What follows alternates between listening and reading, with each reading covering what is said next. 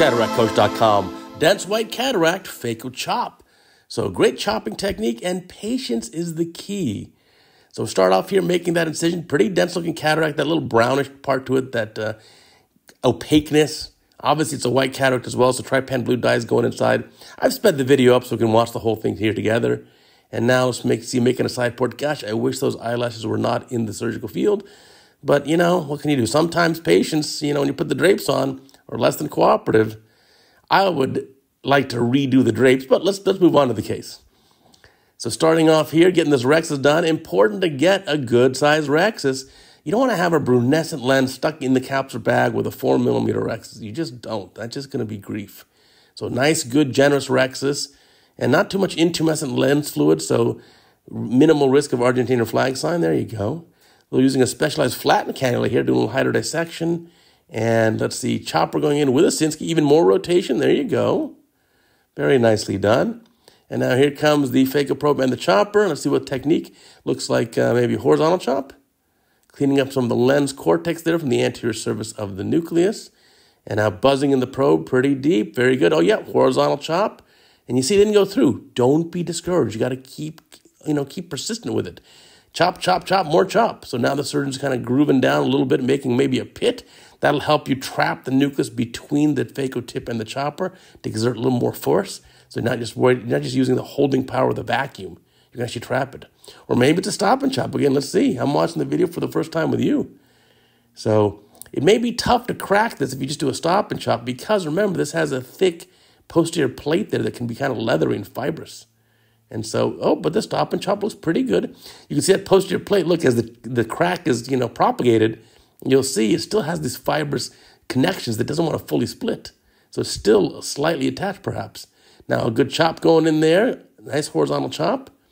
There we go. So convert it to a stop and chop technique. Beautifully done here. Now, a little bit of energy being applied. And you can use some sort of phaco power modulations here too to minimize that energy and take out the next quadrant. So very nicely done. That tape about our teaching website, cataractcoach.com. Yeah, you got to leave YouTube for just a moment. But you know, there's a free Cataract Coach PDF book. You can learn how to do all these things. The book is totally free. Not locked up. Share it with your friends. There's a whole curriculum series, 25 part.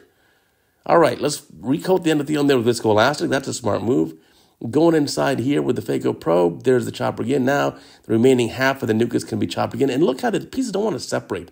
That's pretty typical for brunescent cataract where they ended up having difficulty propagating your chop all the way through because that posterior aspect of the lens nucleus tends to be kind of tough and leathery and kind of fibrous. So now taking these pieces out. Now remember, when the last piece comes up, there's no cortex holding the bag back. So make sure that chopper's in that safe position underneath the phaco tip so that you're protecting the posterior capsule from coming up in contact in the phaco tip. So there's the last piece. There you go. I like this technique. Chopper's in a safe position. Beautifully done and then get that piece out. By this patient's going to be so happy. Can you imagine going from essentially minimal hand motion vision to clear vision right away? Now, the amount of phaco energy here was pretty modest, I think. And so the patient should have pretty good uh, vision tomorrow morning. If the patient has some corneal edema, that's no big deal. It's kind of to be expected with this dense cataract. But again, the surgeon did a beautiful job of chopping, the stop and chop technique too, and recoating the endothelium with viscoelastic. All good ideas. And so now cortex can cleaned up pretty good. Time for the lens. Let's see what we got for the lens here. And looks like, um, yep, single piece acrylic lens going in the capsular bag. And seal this incision up and call this a day. Beautifully done case. So definitely, you want to be able to tailor your surgery to the patient. Sure, you can do phaco chop for these dense brunescent cataracts. But there's some cases, like we saw yesterday with the MSICS video, sometimes you're better off doing an MSICS procedure.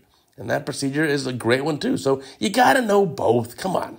All right. Thanks for watching. And remember, check out our social media. A lot of good stuff there YouTube, LinkedIn, Instagram, Facebook, and of course, that amazing podcast. A new one every week.